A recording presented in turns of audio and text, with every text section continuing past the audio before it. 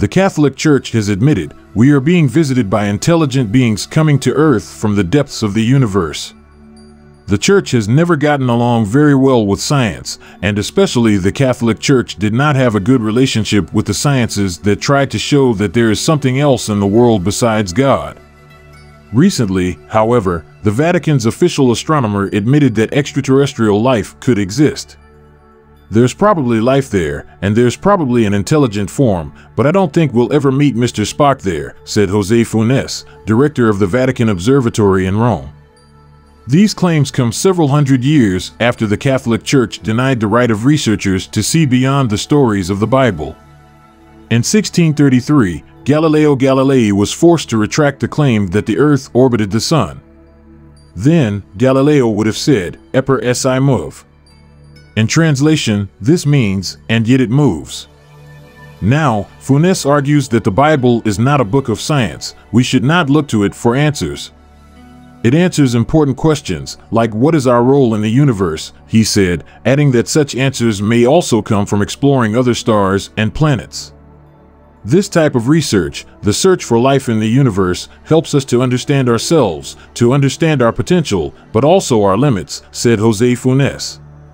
Alien corpses brought by a ufologist to the Mexican parliament. We are being visited by intelligent beings who come to Earth from the depths of the universe. A well-known Mexican journalist and ufologist, Jaime Maussan, presented at a public hearing in the Mexican Chamber of Deputies what he claims are two mummified alien corpses, reports the Mexican newspaper El Universal. Jaime Maussan brought to the hearing in the Mexican parliament two boxes in which he claims there are mummified corpses, over a thousand years old, of some extraterrestrials.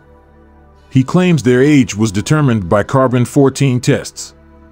Shortly after the hearings, the images went viral, leading to heated debate on the internet between those who believe aliens exist and have visited us and those who doubt them.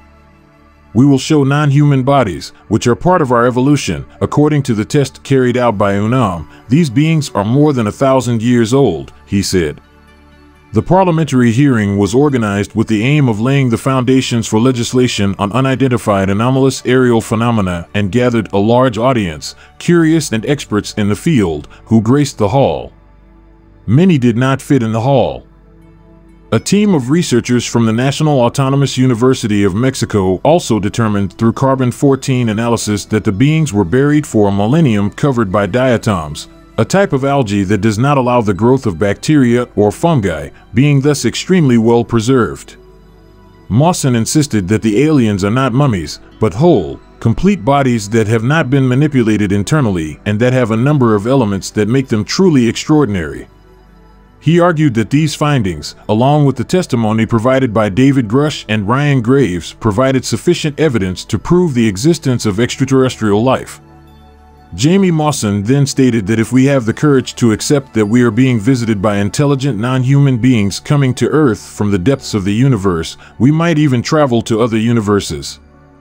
A new controversy on the internet. However, while those who believe in the existence of UFOs enthusiastically received the evidence brought by the ufologist on social networks, the skeptics questioned his entire testimony.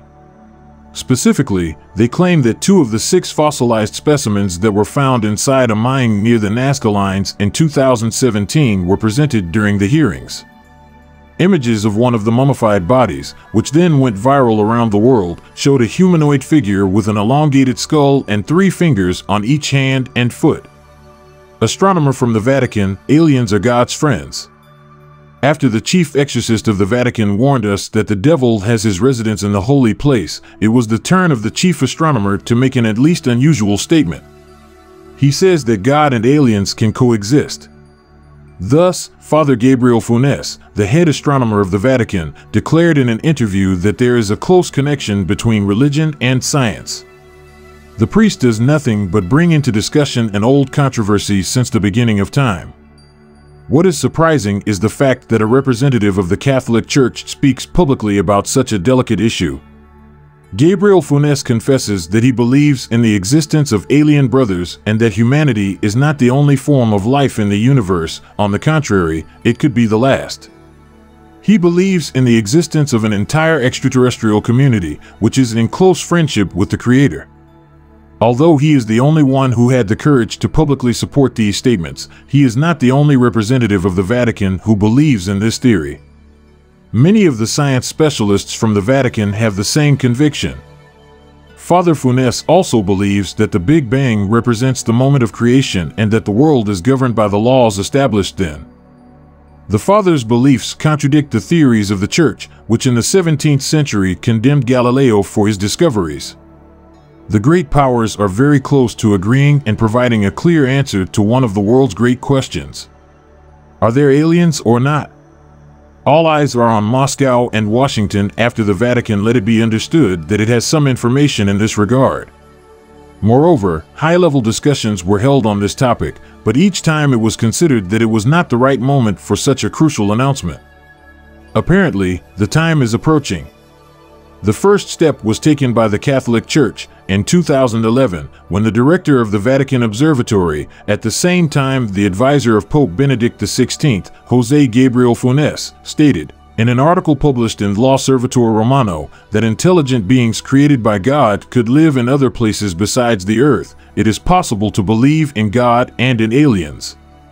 Christians can admit the existence of other worlds and other forms of life, even the most more evolved than us earthlings, without thereby calling into question the belief in creation, incarnation, or salvation. Of course, in such a large universe you cannot exclude this hypothesis. Just as there are a multitude of creatures on earth, there can be other beings, even intelligent ones, created by God. He is the creator of the world. There is a plan behind creation, we are not the children of an accident. Immediately after this step was taken, the pressure of the people to present irrefutable evidence began to increase. No less than 17,000 Americans signed two petitions asking the American government to present the evidence proving the existence of extraterrestrial beings.